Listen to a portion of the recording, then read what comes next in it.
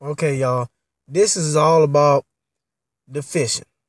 The other day I caught a bass and it was a nice size one. And so I just started all this videotaping and this new to this YouTube and all this other stuff like that. But this is something I've been doing for a while. And so I just want my fans out there to know it's more about how you break down your body of water. Every pond, every lake, is broke down the same way.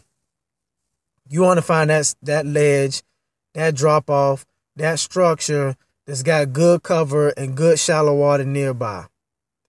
So the two key aspects that you want to look for is real good shallow cover near real good deep structure with cover. So if we have a front come through, especially in the springtime like right now, when it gets cool and then it gets hot, them big bass can travel from shallow to deep fast. And in that cover, they got all of the aspects of food and shelter that they need. That's the key to catching the big bass, more than it is which lake or river or pond you're fishing in, because every body of water, the fishes act the same way in it. If it's a cold front coming through, they're going to go in a depth or in a place where they feel comfortable. They'll do the same thing in a big lake that they do in a small lake. It's not the lake. It's how you fish that body of water, is what I'm trying to say. And I had to learn this over the years. As I learned this, I became a better fisherman. I really did. And you guys, people that fish out there with me before I started doing this videotaping on Facebook and all this, that they was like, damn, damn, how you do that? Well, see, I learned the key to it was good shallow structure near good deep structure. And another pointer plastic worms. I love plastic worms. I use plastic worms. Always be open to new ideas. I use plastic worms. I use swim baits. I use crank baits. I use top popper. I use jigs.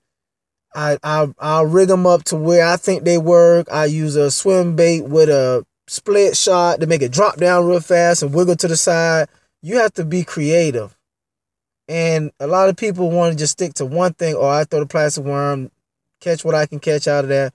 But you'd be surprised if you go out there and try some different things to catch your bass, and you'll see how successful you become. And make sure you have some spray. Spray that thing so it smell good. I like to use um, garlic and crawfish. To me, the garlic and the crawfish are the two top scents that make the fish hold on when they bite. So, and you got to know the bass forages. Crawdads, which is the little jigs. Crawdads and shadfishes and shiners are a bass main forage. So, if they're not eating off one, they're eating off the other. You got to know that. And then you just got to find out where they at and fish both of them baits. Crank baits, plastic swim baits, all are imitations of different type of shads and shiners that are in the water. They got different colors and sizes and all that. So basically, you know the forage. You just got to eliminate. You got to cut down to what size the fish is willing to eat, more than the color, and the depth that you fish it, where you fish it at. When you combine them two together, that's when you got you your fish. That's when you catch your fish, your big bass. Like I said, I've been doing this for a while.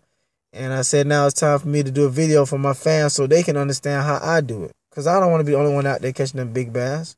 There's plenty of them out there for everybody. So like I said, I'll let y'all know in my next video. When I get time to fish again, I'm not working. Then maybe I'll do another shoot. But till then, I'll see y'all on the water.